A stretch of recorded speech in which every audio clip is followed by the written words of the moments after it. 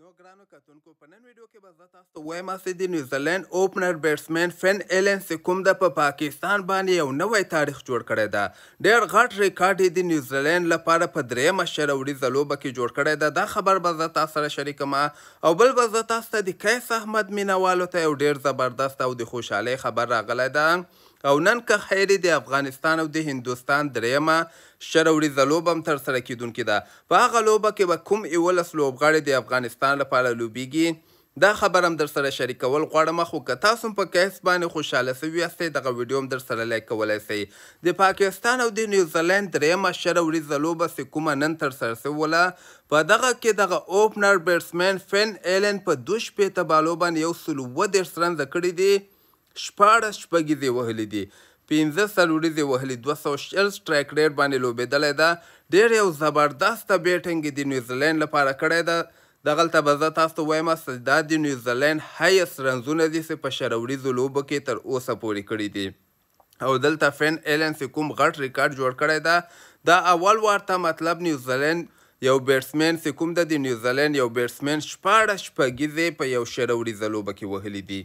دغه نه مخکې په انټرنېشنل لوبو کې حضرت الله ځاځي شپاړس شپږیزې د ایرلېنډ خلاف که تاسو ته یاد وي شل اوریزه لوبه کې وهلې ولې فېن اېلن هم د حضرت الله ځاځي دغه د شپاړس شپږیزو ریکارډ مساوي کړی ده یعنې دغه ریکارډ یې برابر کړی ده. نو ډېر یو زبردست بیټنګ یې ترسره کړی او دوه سوه پنځه ویشت رنزه ټارګټ یې پاکستان ته په دغه لوبه کې ورکړی او د دوی لپاره شیفرډ هم یو دېرش رنزه کړي دي خو تر ټول نه بهترینه بیټنګ چې کومه فین ایلن په دغه لوبه کې کړی ده د پاکستان ټول بولران ډېر سخت سخت ټکول شوي دي دغلته د پاکستان ټاپ بولر حارث روف نه په څلور اوورو کې شپېته رنزه اخیستلي یعنی یو اوور کی پنځلس رنزه ونه اخیستلی او شهین شاه افریدی نه هم څلور اوورو کی دری څلویښت رنزه اخیستلی دی او محمد نواز نه هم څلور اوورو کی څلور څلویښت رنزه اخیستلی یعنی تقریبا ټول د پاکستان بولران فن ایلن له طرف نه ډیر سخت سخت ټکول سوی دی دویم خبر درسره د قیس احمد مینوالو ته یو ډیر زبردست او د خوشحالی خبر راغلی ده څه د افغانستان او د هندوستان څه کومه دریمه یعنی اخرینی شل اوریزه لوبه ترسره کیږی دغه کې به قیس احمد د نور احمد په ځای باندې کښلي لوبیږي. تازه خبر راغلی ده چې د افغانستان قیس احمد ته به په دغه لوبه کې چانس ورکول کیږي. حالانکه د حضرت الله ځاځي په هکله باندې هم خبر راغلی چې ځاځي ته به هم په دغه لوبه کې چانس ورکول کیږي او قیس ته به هم په دغه لوبه کې چانس ورکول کیږي. خو دغه د ځاځي خبر دومره پوخ نه ده خو د قیس احمد خبر پوخ ده چې په دریمه شروریزه لوبه کې ورته چانس ورکړي باید ورته چانس ورکړي نو تاسو ویډیو درسره اتمن لایک کړئ او اتمن یې درسره شریکه کړئ نن ماښام ته د افغانستان او د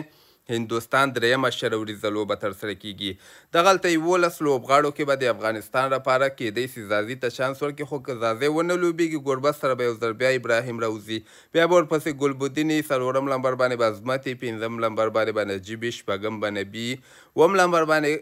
کریم جنت به یې، اتم لمبر باندې به قیس احمد کخیري لوبیږي، نهم باندې مجیب ده، لسم باندې نوین الحق ده او یوولسم باندې فضل حق فاروقي ده، خو زه غواړم چې سلیم صافي ته هم باید چانس ورکړي.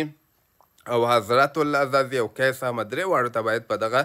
دریمه شروریزه لوبه کې چانس ورکړي تاسو هم راسره خپل نظر په کمنټ کې شریکولی سئ نور ښه وخت ولرئ الله پامان.